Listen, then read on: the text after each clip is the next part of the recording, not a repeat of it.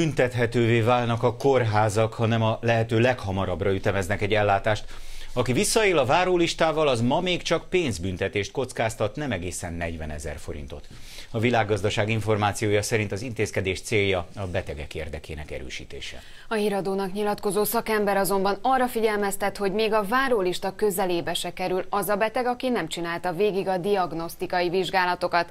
Ezeknek a leleteknek az összegyűjtése pedig hetekig, de akár hónapokig is tarthat. Egy boka protézis kellene, aminek a várakozási ideje 6 év. Tavaly beszélt híradónak ez a férfi műtéti kilátásairól. Esete azonban nem általános.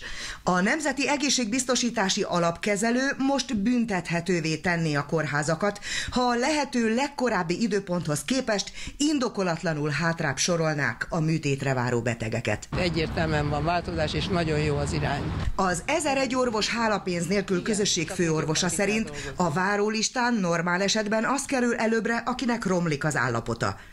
A sorrenden azonban egy kellően vastag boríték is változtathat. Ez azonban bűncselekmény. Lénár Rita szerint nem érdemes a sztárnak tartott professzorra várni, mert a gyógyítás csapatmunka. Tehát a gyógyulás nem elsősorban csak az istenített sebész beavatkozásától függ, hanem bizony az anesteziológustól, a műtős fiútól, a nővértől, de még a takarítónőtől is.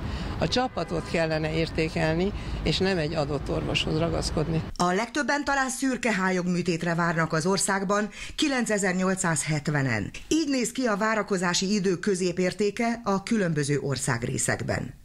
Térdműtétre 5452-en várnak az országban. A számok a nyilvántartó szerint alacsony várakozási időnek számítanak Európában. A kórházi ellátás előtt azonban végig kell csinálni az előzetes vizsgálatokat is, amelyek szintén több hónapot vehetnek igénybe. Próbaképpen időpontot kértünk egy budapesti szakrendelőben az ortopédiára áprilisi időpontok már mind lelettek foglalva, májusit még nem adták meg, 15-én fogják megadni a májusit. A rezidensek és szakorvosok szakszervezetének elnöke két műtét között arra hívta fel a figyelmet, hogy megismerhetővé kellene tenni a kórházak minőségi mutatóit is. Például azt, hogy milyen gyakoriak a szövődmények vagy a fertőzések. Magyarországon a beteg gyakorlatilag egyetlen egy államintézményben sem látja igazán, hogy milyen minőségi mutatókkal gyógyítanak, hiszen ez nyilvános nem is méri senki, tehát ez csak az adott orvos kvázi népszerűsége, és hogy elhisszük, hogy ő tényleg van jól, milyennek mondja magát. Itthon évente körülbelül 190 ezer műtétet végeznek, és 25-30 ezeren várnak valamilyen beavatkozásra.